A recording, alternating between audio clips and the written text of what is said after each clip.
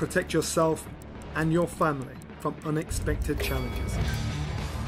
Consider accident only income protection. Click the link in the description to find out more.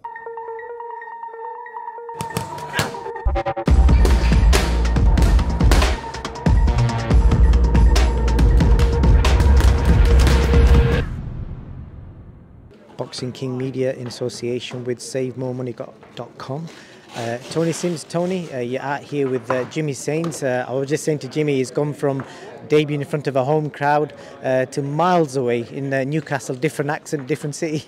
Yeah, and you know, to box in Newcastle is a great experience for him, and you know, it'll be a great atmosphere in, in, in, the arena on the night. And I like that what Matchroom do. It's obviously a next gen show, and they're not just showcasing the local talent, but they're bringing you know the, the the rest of the young talent on these away shows, and that and that gives the young kids good experience fighting up and down the country, and. Um, obviously uh, the prospects they've got on the show are really good prospects and uh, I'm looking forward to Saturday night. I was saying to Jimmy if you could explain what is it about the people of Essex that get so well behind their fighters? Because prior to Johnny Fisher my opinion of Essex was like you know all the reality shows that you see about Essex. And you obviously you're, old school Essex guy so you, you explain to us. Yeah I mean you know Essex is a big big county and uh, you know it's um, it's well supported in what any anyone does in Essex, and it's a kind of close knit community, especially where Jimmy comes from in Brentwood, and everybody kind of knows everybody, and uh, and they get behind whatever they do. I mean, Jimmy's younger brother plays for Ipswich. Uh, he's a good player, and, uh, and everyone gets behind him. His family, he's got a great family behind him, so he, they get great support. Definitely so, and, uh, and it's possibly pressure comes with that as well because he's obviously seen with uh, Johnny because even though he's got a big fan base, the outer circle of Essex, he gets a lot of hammer for it as well because people are expecting him to do like big things straight away. Yeah, of course, and as we were saying on his on his pro debut, you know, he uh, he sold a lot of tickets. I think he sold like 600 tickets. Travelled to Wembley and. Um, course the pressure's on you a little bit more than if you if you hadn't sold any. So, but that's the name of the game is dealing with the pressure. And when you get to big fights, big title fights, it's about dealing with that pressure. And obviously Jimmy's going to deal with that from a, from a young age and uh, early in his career. Definitely so.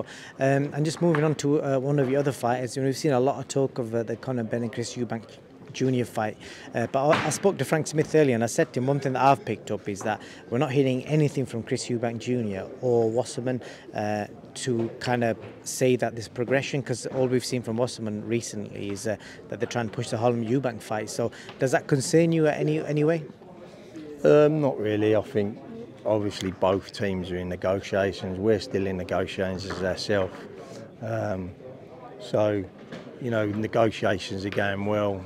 We're a lot closer this week than we was last week, but until the um, until the contracts are signed and it, you know there's not a fight on, but I expect uh, I expect to be getting closer by next week, and um, you know I'm expecting the fight hopefully to happen obviously, you know, you're one of the very few old school trainers left in the UK, and I mean that in, in, a, in a complimentary way with all your experience.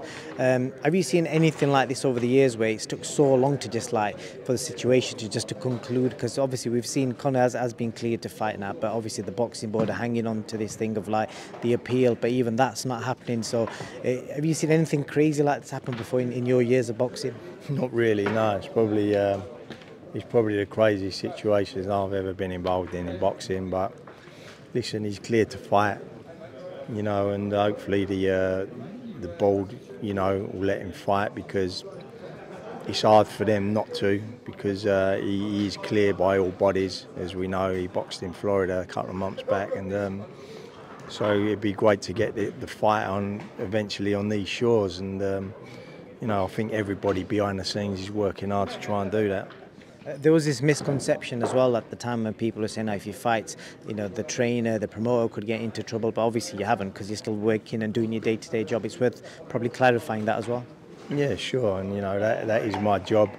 I train fighters, and, uh, and that's what I do. And uh, you know, whoever's fighting when, that's my job to do that. I just want to get your opinion, Tony, on um, Tyson Fury. Uh, we saw recently, obviously, uh, he had his fight with Ngannou. People have got varying opinions on it. Uh, but one of the things we've seen this week, we saw Johnny Nelson come out and said that he feels like his legs have gone. Uh, Eddie Hearn reckons his punch resistance has gone. I want to get your opinion because you've probably forgotten more than people know about boxing. So, from what you assess, had you was it a bad night at the office, or what is it? What people are saying? I, I, I believe it is a bad night at the office. Um, but Tyson has Tyson has had them bad nights throughout his career. I was, I, believe it or not, I was in the corner with him when he when he boxed John McDermott the first time, and everyone, yeah, and um, yeah, it was a long time ago, and uh, you know that he had a stinker that night, and then he obviously had the return and he stopped John. So we have seen him do this before on numerous occasions, and um, I think we see it against Otto Wallin as well you know, I'm not taking anything away from Otto because I know him well, but we've seen him put in some bad performances and then in his next fights, like he fights Wilder, do you know what I mean? Puts an unbelievable performance in.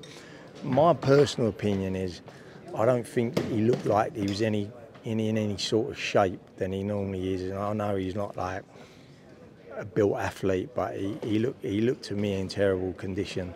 And um, I don't, I don't think whether he whether mentally he was there as well. I don't know whether he took took Ngannou lightly, maybe, but I, I don't believe that we'll see um, Tyson Fury come in like that ever again. And um, you know, I, I wouldn't um, I wouldn't be thinking he, he's. Um, I wouldn't be thinking that he's any any any less a fighter than when we see him fight previously, and uh, I think against Usyk he'll bring his A game, and he, he's always a difficult fighter to beat when he does bring his A game.